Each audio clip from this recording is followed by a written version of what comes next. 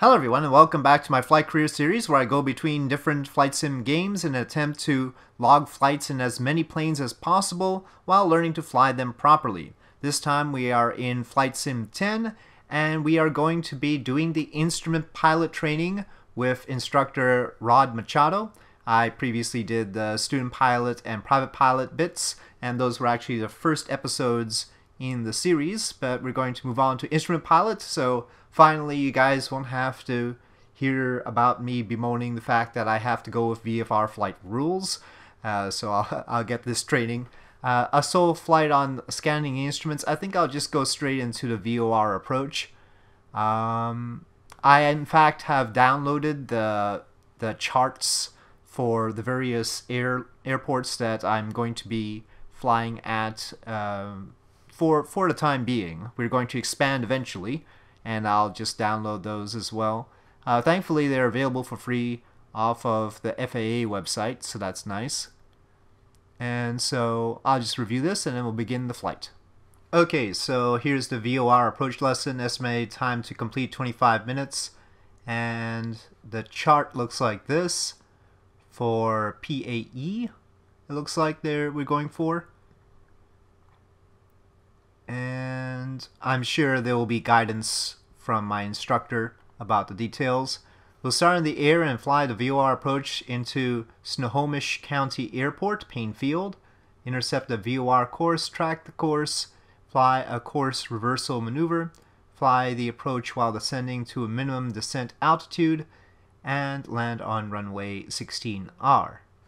And so we can see sort of 2,000 feet there descending down to that. Pretty simple. It looks like the minimum descent altitude is 1,060 feet. Uh, for my class of plane anyway. Uh, for a heavier aircraft, it's a little bit higher. In this lesson, we'll fly a full VOR approach with a procedure turn. Before we begin, you'll need to refer to the Everett Washington VOR approach plate to see how we'll fly this instrument approach. You must also make sure to read the ground school session on instrument approaches, otherwise your brain is sure to be rattled with terms and concepts you haven't yet heard. On the upper left-hand side of the instrument panel, next to the airspeed indicator, you'll find your next best friend, and that's called the clock. The clock. When you found it, click Yep. the select button. This calls up the stopwatch function. Most holding patterns are based on time, so a good stopwatch is essential. Clicking the control button starts the stopwatch. It counts up in seconds, minutes, and hours. Clicking it again stops it, and the third time will reset it back to zero so it's ready to be used again. Okay. You're going to be very busy during an instrument approach, so it's important to have as much done as possible as early as possible. Long before I get this close to the airport, I've checked the ATIS, fished out the correct approach chart, verified that it's the correct approach chart, stowed the coffee jug, tuned and verified the radios, and mentally reviewed the entire approach. ATC has just cleared us for the VOR Bravo approach, and we're to maintain 3,000 feet until crossing Paine VOR. Turn right more. Oh, wow. We got There, knocked off. The VOR needle shows that we've crossed the station. Turn left now to a heading of 340 degrees and fly to the point where we'll begin the bob portion of the procedure turn. Okay. Turning 340. Turn slightly to intercept and track the 340 degree course outbound and mark the time. Mark the time. Okay. Okay, it's gonna tell me I'm too high too. Uh, oh, the text is going pink now. You're too high. Descend. And that's not good either. You're too high. Descend. There is some wind to deal with here. Now I did end up getting the Realism expansion pack for the Cessna 172 for X-Plane 11, but that's not operant in here right now. We'll see what that's all about in X-Plane 11 in a different episode. Technically, my Cessna is still sitting down south in uh, in Hayward. This is the trainer Cessna 172. Different serial number.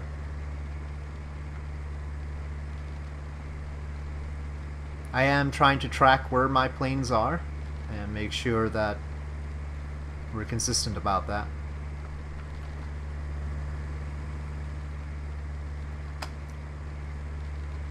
Since that's not going well, I'm going to end this lesson I'm now. not entirely I'd sure to what I did wrong there. We're at lesson again so we 3,000 in line with the VOR. Piloting skills some more. But apparently he thought that I did something wrong, so... Well, I'll have to try it again. I was a little bit distracted, I guess, but... Okay, based on a chart, I think uh, the instructor was expecting me to descend to 2,000, though he had not said so. We'll see. Okay, roll out.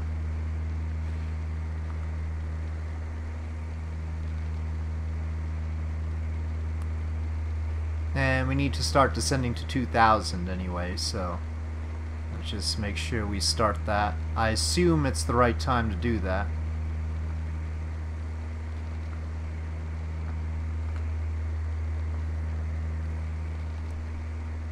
Turn slightly to intercept and track the 340 degree course outbound and mark the time. Mark the time. Got it? Now, let me see if descending is okay. You're too low. Okay, Climb. nope, does not want me to descend actually. I don't want to get too many red marks, otherwise I'm gonna have to do it again. Hope I'm gonna get some sort of indication of when exactly to start descending then. The one minute timer was for when we get to 295 and we stay on 295 too far to the left. I am. I'm surprised. But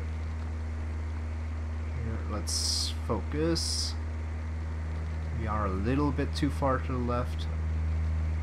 Now Okay. is also a good time to begin your descent Let's to 2,000 begin feet descent. and reduce your speed to 90 knots. I am too far to the right. Don't worry about descending at a specific rate. Just get the power back to about 1600 RPM and adjust your pitch to maintain 90 knots. There. The DME Oh. reads 6 miles, so let's begin the barred portion of this procedure turn by turning left to a heading of 295 degrees and fly outbound for 1 minute. When you roll outbound on a heading Okay, of 295 degrees, let's- mark the time. Mark the time. Okay, we are Speed up. Okay, we need to speed up. He didn't tell me to change the the OBS.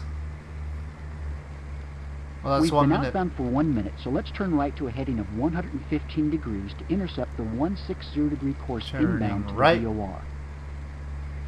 Okay, we're at Set your nav 1 OBS to 160 degrees. Okay. So 160.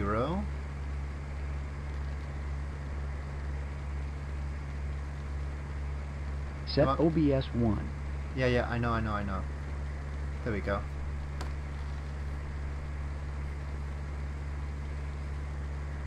Okay, we're intercepting the 160 degree course inbound, so turn to a heading of 160 degrees. Intercept and fly that course inbound. Begin a descent to 1,060 feet. This is our minimum descent altitude, or MDA. Maintain an approach speed of 90 knots. I know from the airport diagram that the VOR is east of runway 16 right, so we'll be looking mostly to our right for the approach lights. Make small corrections to maintain altitude and to keep the VOR-1 vertical needle centered. Don't go below 1,060 feet until the runway is in sight. If we can't see the runway by the time we get to the VOR, then we'll execute the missed approach. Okay, we're on track. Descending to 1,060 feet. But we have to stay above that. At 90 knots here. Okay, 90 knots still descending. Hopefully we're not too close. We're 3 nautical miles away. 3.7. And I see the runway. I think I see the runway at about 1 o'clock. Yep, so do I.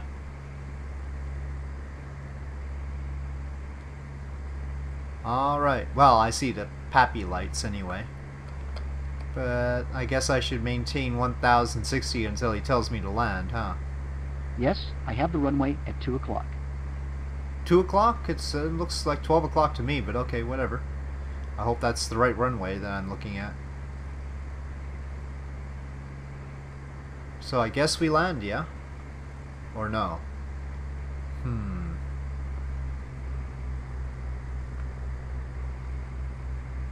Okay, the we're clear landing land. checklist is complete. We're cleared to land on runway 16 right, Captain. Be sure to stay on the PAPI's glide slope. Yep, and flaps.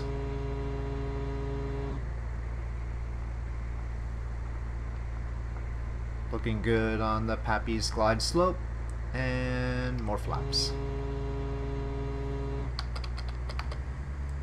Uh, okay, a little bit too high. Okay, that's good.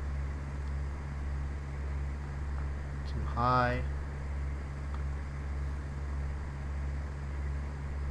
Always just a bit nervous about the trees.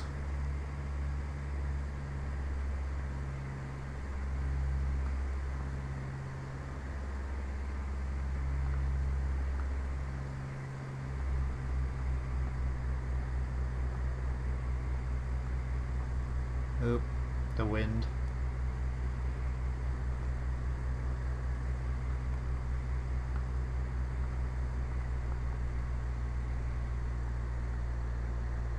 Okay, uh, that was pretty good on the glide slope. And we're down.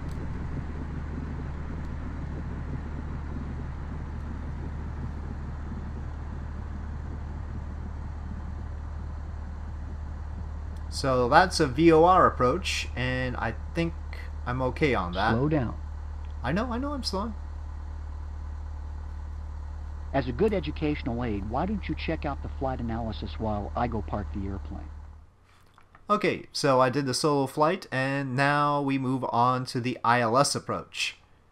Um, yep. And ILS approach consists of a descent to a runway using both vertical and horizontal electronic guidance. And we've got the two needles, and takes you down to a height known as decision height, DH, approximately 200 feet above the runway elevation. Exciting. For a typical ILS approach flown at 90 knot, a 500 foot per minute descent rate is required to maintain to remain on the glide slope. So, and then if we go faster, we increase the descent rate. I'll try and just hit that, 500 feet per minute at 90 knots, hopefully. Um, reduce power from its present setting to 1600 RPM. and then we will adjust. And of course, that'll be different for each plane. It's just this says no 172. And here's a little chart uh, for rate of descent, ground speed versus angle of descent. In this lesson, we'll fly an ILS approach to runway 13 right at Boeing Field in Seattle, Washington. I have tuned and identified the IBFI, ILS, and the NOLA locator outer marker. We're about 8 nautical miles northwest of Boeing Field. We're flying east on a heading of 085 degrees at 2,200 feet. We'll need to intercept the ILS and then make our approach. Watch the VOR1 indicator. This is our ILS display. As an ILS instrument, it uses both the vertical needle and the horizontal needle. The vertical needle represents the localizer, and the horizontal needle represents the glide slope. Let's start our approach to intercept the ILS. We'll make our approach to runway 13 right by following the ILS. The inbound course for the ILS is 130 degrees. Okay, you've got the airplane. I'll work the radios, you do the flying. Alright, well, I don't know what I need to do right now except for keep it going. Now we're close to intercepting the localizer. As the localizer needle starts to move, begin a right turn to intercept. Remember that the inbound course is 130 degrees. Alright. Seems easier than the VOR approach. Let's see. I show the localizer needle is active. Turn Yep. right to intercept. It- Remember that a localizer is much more sensitive than a VOR course, so we'll have to be much more diligent in tracking it. Oh, great. Well, that's tougher. Okay, bit fidgety, but alright. Uh, keep going up, please. And we need 90 knots. You're too low. Yep. Climb. So we need more power. And I need to be further right. Speed up. Okay, feel like I'm making a hash of this. Turn right more. You're too low. Climb. Okay. Hopefully we're not too bad off. It looks like it's centering. Oops, I need to go to the right. Turn left more. You're too low. Climb. So many things. There's NOLA, the locator outer marker. Listen for the sound and notice the blinking blue light. This tells you you're at NOLA. We're now at 6.4 miles from the runway threshold. Turn right more. You're now on the glide slope. Start your descent for landing. Okay. The approach chart says we should be at 2,117 feet at the marker with the glide slope needle centered. This is an extra check to make sure our altimeter is indicating correctly. Remember to make small corrections on the localizer and glide slope. They're very sensitive. If the glide slope needle moves toward the top of the VOR1 indicator, you're too low. Reduce your descent rate. Turn left more. Don't try to climb back to the glide slope. Just level off and wait for it to come back to you. You're too high. Reduce power. If the glide slope needle moves toward the bottom of the VOR1 indicator, It's tough because he's talking high. over himself. Increase your descent rate. The approach chart says that we should have a descent rate of approximately 500 feet per minute to remain on the glide slope. Focus on maintaining a constant descent rate and be careful not to chase the glide slope needle. Decision altitude for this approach is 263 feet, but for convenience, we'll use 300 feet. Turn right more. If we get to 300 feet without seeing the runway, we'll immediately execute a missed approach. Okay, reacquiring the glide slope here. Turn right more. Shh, man. Doubly annoying to have him harp about it. Raise your flaps. Oh, he doesn't want flaps. Speed up. Okay. Yep, pretty good right now. Trying to go, get uh, 500 feet per minute. a little bit to the left. Okay, well I see the runway. So decision decision wise, we're okay. I really would like to get my flaps out now. Just saying. Speed up. Well, okay, he wants me to speed up. We're approaching You're the runway. Low. Increase power. We're like at the runway and he wants me to speed up. It's not right. You're too high. Reduce power. Ah. Was I not supposed to go for right? Was it supposed to be left? Well, of course I'm too high. You told me to increase power. Can't decide what Raise he wants me to do. Speed up. Forget it, I'm gonna land.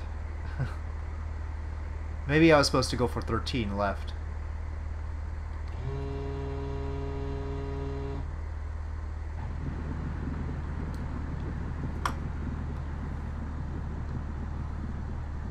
I wonder what he's gonna say about it. Speed up. Raise your flaps. Oh, he's not accepting this. Okay, well, I did the solo flight uh, for the ILS approach and did it reasonably well. I landed on the specified runway. Uh, there was no guidance for that, so I'll just uh, leave that be for now, and uh, we'll uh, double check it on the instrument reading check ride. But first, we've got this holding patterns one, and I guess I'll take that lesson first. I don't anticipate uh, holding patterns being especially difficult, but let's find out. 20 minutes complete. No charts are needed. And there's a GPS unit option. Start this flight in the air at 4,000 feet. Enter a holding pattern. Complete the circuit. And practice as long as you like. Bank within 10 degrees of a standard rate turn. Mm, okay, let's see. I know you've dutifully studied your homework lesson, so you know how to make a direct entry into the holding pattern. Sure, I did. Okay, you've got the airplane. As soon as we passed over the VOR, begin a standard rate turn to the right. Turn to a heading of 180 degrees for the outbound leg, which is also called the holding side. There, we've passed the station. Okay, Begin turning a right, right. turn to a heading of 180. Use a standard rate turn as shown on the turn coordinator. The outbound leg should last one minute from the time you roll out on a heading of 180 degrees. Okay, so we need As you roll out on a heading timer. of 180 degrees, start the time. This is the start of the holding pattern's outbound leg. oh, we're going too high. We'll fly outbound for one minute on a heading of 180 degrees. Okay, start It's the important to maintain our altitude while we are holding, unless ATC Oh, too tells us high. otherwise. Air traffic control promises us that there aren't any more airplanes in our racetrack, but there very well may be airplanes in their own racetracks above and below us. Okay, 100 knots, 4,000 feet, maybe a little bit more trim there, and 180 degrees. Looking good. And that's been a minute. So I'm just waiting for him to tell me something, otherwise he's gonna be angry. Okay, the outbound time has elapsed. Okay, We'll turning head right. back to the VOR station on the inbound leg. Start a standard rate turn to the right to intercept the 180 degree radial or the 360 degree course inbound, then track that course inbound to the station. As the needle moves toward the center, adjust your turn rate. You'll want to center the needle as you roll out on a heading of 360 degrees. This is a bit tricky, but you can do it. Remember that the VOR indicator becomes more sensitive as we get closer to the station, so we'll need to get stabilized on the inbound radial as soon as possible. Okay, don't go too high. Turn right more.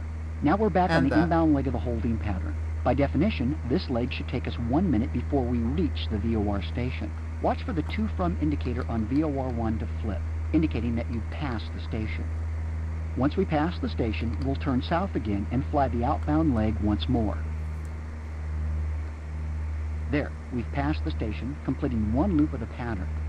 Now once again, turn right to a heading of 180 degrees for the outbound leg. Use a standard rate turn as shown on the turn coordinator. Typically, you'd remain in the holding pattern until air traffic control gives you a clearance to continue on your route. We can use the GPS system to help monitor our pattern. Hold down the shift key and the 3 key to call up the GPS. You should see a nice oval racetrack with parallel sides. Don't leave it up too long though because it gets in the way of the nav instruments. Indeed, it does get in the way. Bank the wings more.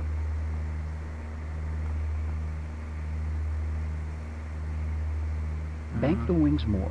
Uh, we're at Great 180. job. Fly a couple more laps around the holding pattern and press escape when you're ready to move on to the next lesson. I think I'm Look at ready the flight to. analysis to help judge your performance. Ideally, you should see a bunch of lines on top of each other in a nice oval, as well as a straight line on the altitude plot. Okay, we are going to move on to the instrument rating check ride. Okay, so this is going to be a bit complicated. Uh, 45 minutes, two charts. We've got uh, this one of Seattle International, and then the second one is Boeing Field, which we're more familiar with. So far, they haven't had me do anything with Seattle International. Um, check ride, test the skills learned. Um, assess your ability to perform a non-precision VOR approach to a missed approach. Hold at a VOR, perform a procedure, a procedure turn, and complete an ILS approach. Expect you to set the nav and ADF radios to the appropriate frequencies, so I should probably jot those down. And we must also manually set the OBS. Okay, and this is an interesting chart we've got here. So we've got the overall criteria, very tight course requirements, plus or minus 2 degrees, set up for VOR approach, uh, nav1 radio within 30 seconds, uh, uh, correct frequency, maintain 66 degrees. I should probably jot everything down. Hello, I'm your examiner for today's instrument rating check ride. In this check ride, I won't ask you to do anything illegal or dangerous. I will expect you to fly in a professional manner. I'll expect you to tune your own radios, maintain all altitudes, and other assignments I might give you. You will not be able to use the autopilot during this flight. Feel free to use the pause button if you need more time to set up the radios or get prepared for the flight. No, no, that'd be When cheating. you're ready, just resume the flight. Since this is a simulator, we're starting in the air at 5,000 feet. I want you to tune the NAV-1 radio to the Seattle VOR 116.8. Uh, she jotted down the frequencies, but nice that she told me. Oh, that's 115. There's a bit of a glare.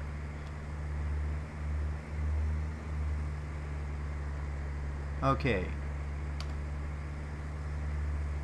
Your clearance is direct to the FAX intersection, then cleared for the VOR approach, runway 34 right at Seattle-Tacoma International Airport.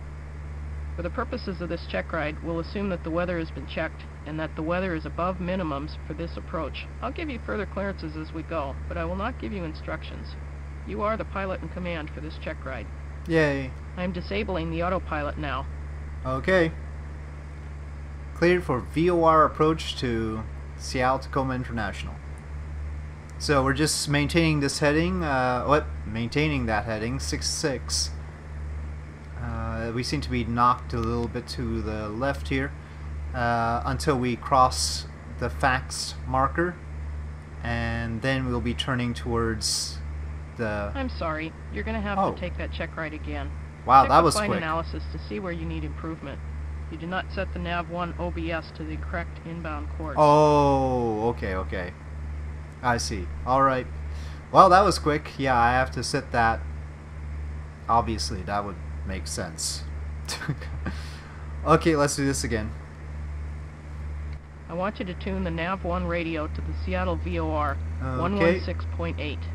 One one six point. Oh, nope. All right. And we need to tune the course. Your clearance is direct to the FAX intersection, then cleared for the VOR approach, runway 34 right at Seattle-Tacoma International Airport. For the purposes of this check ride, we'll assume that the weather has been checked and that the weather is above minimums for this approach. I'll give you further clearances as we go, but I will not give you instructions. You are the pilot in command for this check ride. All right. I'm disabling the autopilot now. As long as we stay above 3,000, we should be fine. And it said we have to get to the intersection above 3,000 feet, so... So 3,000 feet would be good. Oh, no, she wants us at 5,000, okay.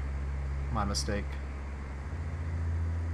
I took a look at the notes, it didn't say that we should maintain 5,000 here, but okay. Alright back to a satisfied experience. Well, most of the time this is going to take is simply the route into the missed approach.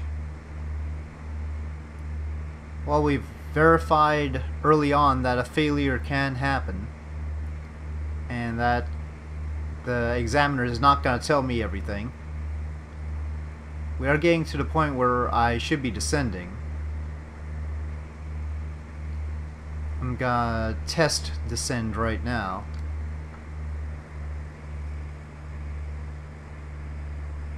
And see if she tells me to go back to 5,000 feet now. Do they let me, well, they do let me take a look at the GPS. Okay, she's telling me to descend to 1,600 feet, so we're good. I'm already trying to do that. Yep, I'm a little bit off track now. Yep, I'm too far to the left. I agree.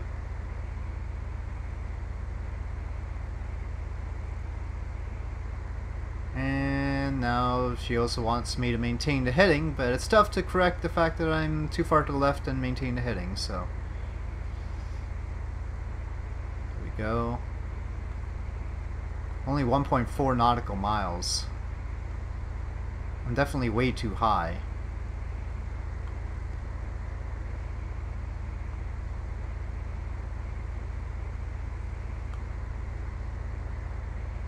But VOR approach, we're going to maintain at 1,600 anyway.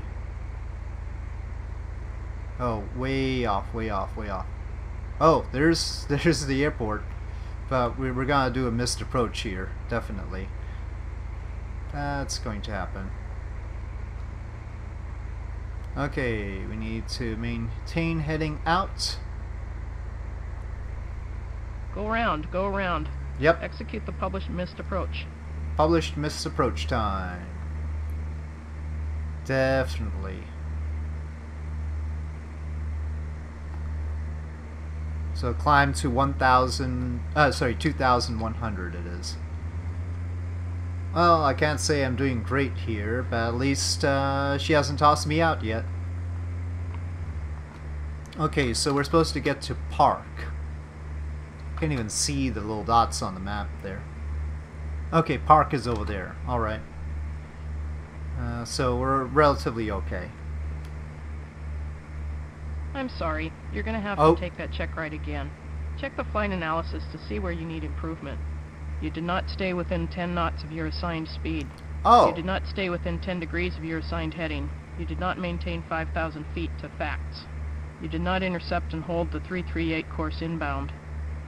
You crossed Milt below 3,000 feet. You crossed the outer marker below 1,600 feet. You crossed the Seattle VOR below 840 I feet. never got below You did not 840 feet. on the missed approach. but I wasn't doing a particularly good job though. Well, I guess I'll have to redo it again. Go around, go around. Execute Okay. the published missed approach. Going around. Okay, we are correct on the missed approach heading and need to descend and maintain 2100 according to the charts. Ascend and maintain technically because we were lower than it, but we're now higher than it. We overshot. Okay, we're on track. We're gonna be within 100 feet of the assigned altitude, and we are at the correct speed. I'm sorry. You're gonna have to take that check ride again. I don't know. Check the flight analysis to see where you need improvement. I don't you did know. not stay within 10 knots of your assigned speed. You did not stay within 10 degrees of your assigned heading. You did not maintain 5,000 I did to maintain 5,000 feet You did not facts. intercept and hold the It just lists all inbound. the things that could go wrong. You crossed Milt below 3,000 I feet. definitely You did not- the outer marker below 1,600 feet. I did not cross the outer VOR marker below 1600 840 feet. You did not climb on the So it just approach. lists all You the possible things that could go 339 wrong. degree course. So that's not nice. I don't know if it's bugged or not. I don't know how many things I could get wrong. I thought I was doing pretty well. But I'll try it one more time. If if it doesn't work, I'm just gonna assume that this particular one is always gonna fail at that point because um, I've certainly done much worse on the pre uh, other other check ride. I mean, heck, on the on the private pilot's license one, I like totally missed the runway. So, but um, we'll see. Let me try one more time. Okay, well, I checked online, and it turns out there is a bit of a problem with this check ride. So yeah, uh, apparently I need to try to go a heading of 341 instead of 339, but then she might get irritated by that, but it's close enough that should work out. Uh, the problem is we're not flying over the correct intersection point, the park intersection point, and um, that's because the listed heading is incorrect apparently. We'll see. And of course, if you get it wrong, apparently it just lists everything that could have gone wrong instead of specifically what you got wrong. I see that ODD marker, and we should be above 1,600 feet when we cross that, it says. So we actually have quite a bit of descending to do. Gonna pre align the OBS for what I think is the actual outbound trajectory, which is more like 341. And we're going to turn more towards that than what we've been doing. Okay, descending to 1,600 now. Though technically I think we should be at 1,600 at this ODD marker, but uh, the examiner wants it this way, so let's not complicate things.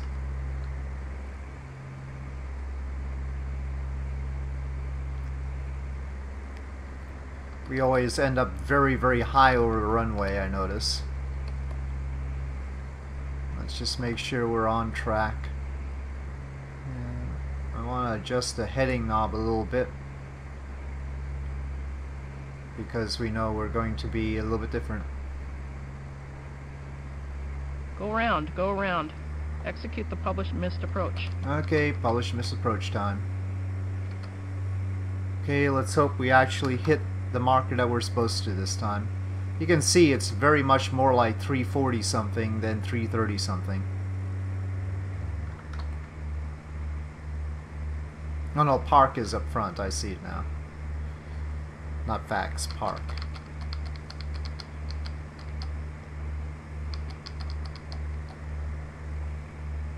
So we can see there, it's very much to our right, which is not what was initially advertised.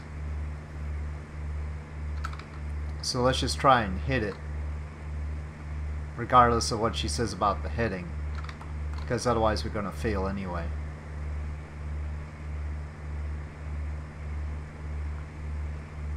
I'm sorry. You're going to Oh. have to take that check ride again. Check the flight Or analysis not. to see where you need improvement. You crossed the Seattle VOR below 840 feet. You did not climb on the missed approach. You did not maintain the 339 degree course. I mean, I can't argue with the 339 course bit, but I certainly didn't maintain that very well. But um, I think there's another systematic problem with uh, the 339 approach uh, not being in line with Park at all, and I think that's well. Anyway, uh, let me look a little bit more online and see if there's some other problem with this. But uh, yeah, let me let me check if uh, there are some other hints. Okay, one more time with special attention to everything. Everything must be good. Okay, very few yellow marks for me. And there's the point where we we need to start descending. So I'm gonna start decelerating and getting ready to go on descent. So at ODD we should be heading to 1,600 feet. And I think we need to throttle down a bit there. I don't know if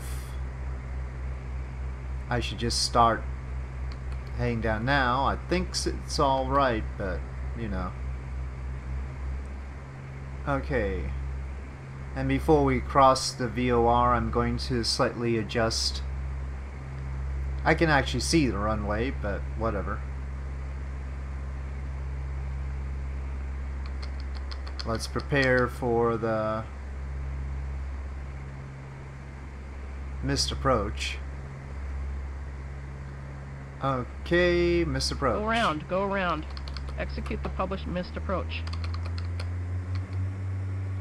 Now again, I believe I want to make sure I hit that one marker.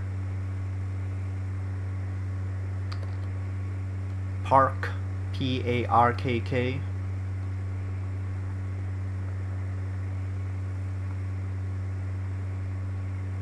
And for that we need to go a little bit to the right of what's advertised without annoying the examiner. Delicate balance and we'll see what happens. That's pretty darn close right there. Oh, but I need to make sure not to go past the heading limits. Uh, don't do that, don't do that. I'm sorry. You're going to have to take that check ride again. Check the flight analysis to see where you need improvement. You did not stay within 10 knots of Okay, your assigned okay. speed. Uh, no, I can't. I can't hear it anymore. All right. Yeah. Well, that was more difficult than I thought it was gonna be. So yeah, I don't know what to make of this instrument rating check ride. It uh, always fails at that point when we're reaching P-A-R-K-K, and it seems people do have a problem with that part. Um, yeah, I think I should probably move on temporarily, and maybe we'll come back to it. Uh, maybe there is some other way to verify my instrument rating. We'll see. Anyway, uh, so after that mountain of frustration, I think I'll leave it here. Thank you for watching. I hope you enjoyed this video. If you did enjoy this video, please do press like. If you have any comments or suggestions, please leave them in the comment section below. And I'll see you next time.